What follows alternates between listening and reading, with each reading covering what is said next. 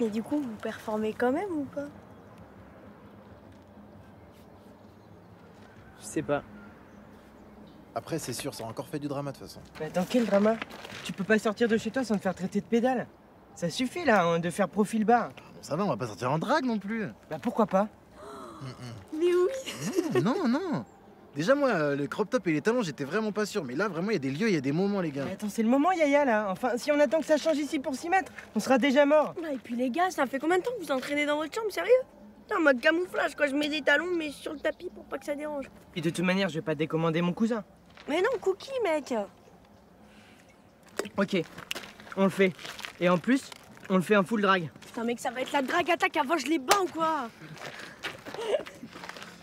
Vous êtes des malades, en fait. hein.